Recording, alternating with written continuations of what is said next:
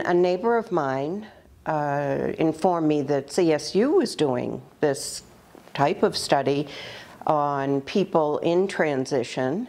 Uh, I decided that I thought it might be helpful to both the school and myself. I was a member of the Relate study at, that CSU was um, advertising in the newspaper.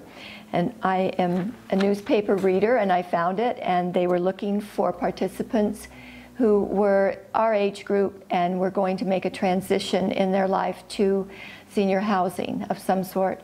And there were 52 uh, houses of us going into the village cooperative.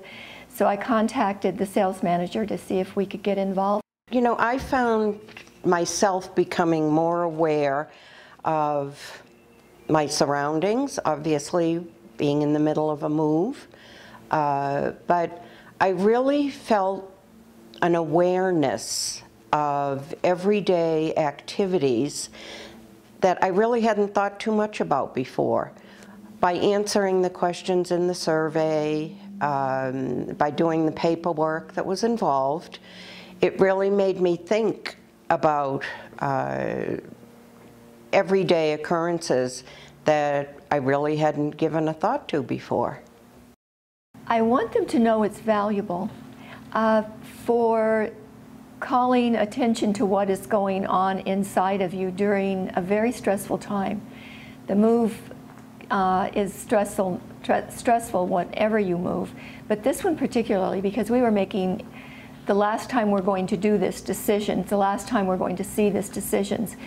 And um, I thought the research would be useful to, for the future for people going through this.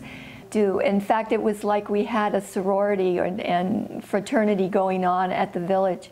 And it was interesting because at an exercise class or in a group of people, when the phone went off, and you explain the first time I'm in this CSU study, it got more people interested in it and it was very supportive. The whole community was supporting you. And I think it's just helpful for other people. If they're interested, they can look us up, they can see what it's involved, what it involved and what they got out of it and see if it's really right for them.